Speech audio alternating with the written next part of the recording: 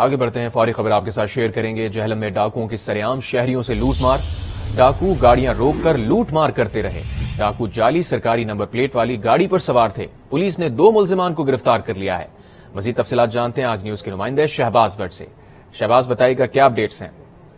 جی سرکاری number plate والے double cabin Vigo ڈالے میں سوار مسلح افراد جیلم کے علاقہ جلال شریف میں گاڑیوں اور راہگیروں کو روک کر جو ہے وہ لوٹ مار کر رہے تھے۔ اسلحے کے نوک پر اور تشدد کا نشانہ بھی بنا رہے تھے۔ آج نیوز کو جو فوٹیج مسول ہوئی ہے، اس میں دیکھا جا سکتا ہے، مسلمان اسلحے کی نوک پر جو ہے وہ لوٹ مار بھی کر رہے ہیں، بدماشی بھی کر رہے ہیں۔ اس کے بعد مسلح افراد جو ہے، وہ نگیال گئے ہیں۔ وہاں ایک ہوٹل پہ ڈکیتی کی ہے۔ پولیس اطلاع ملنے پر موقع پر پہنچی ہے۔ تو پولیس کے ساتھ بھی جو ہے مسلمان نے مزاحمت کی ہے، فائرنگ کی ہے۔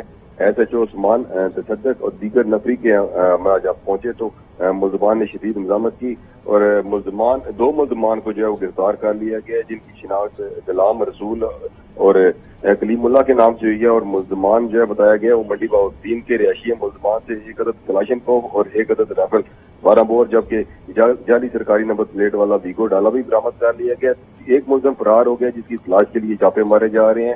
چار مختلف مقدمات جو ہے وہ مختلف دفعات کے تحت مقدمات بھی درج کر دیے گئے۔ بہت شکریہ شہباز بٹ آپ نے اپڈیٹ کیا۔